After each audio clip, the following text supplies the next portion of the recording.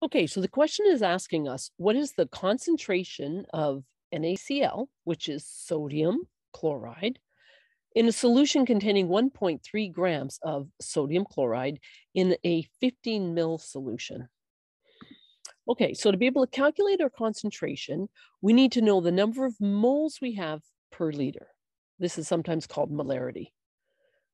So notice that we only have 1.3 grams, not moles of our sodium chloride. So we need to convert this to moles first.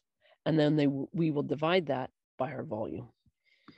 So to calculate how many moles this is, we need to know the molar mass of our sodium chloride. So let's go to the periodic table here and look at our elements and their atomic masses and calculate the molar mass. So we have 23 grams for our sodium, 35.5 grams for chlorine, giving us a total of 55.5 grams for one mole of sodium chloride.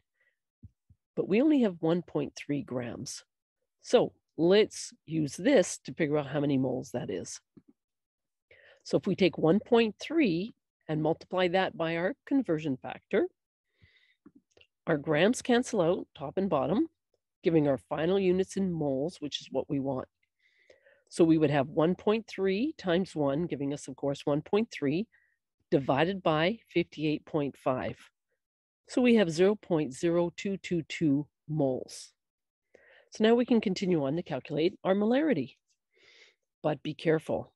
Our volume needs to be in liters, and they are giving it to us here in milliliters. So let's convert that to liters to start with. So we have 15 milliliters times our conversion factor, which states one liter is a thousand milliliters. Our units cross out again, giving us our final answer in liters. 15 times 1, of course, is 15, divided by a 1,000 will give us 0.0 0.15 liters. Now we can calculate our molarity, where we take the moles divided by our volume, giving us 1.5. So the molarity of this solution would be 1.5.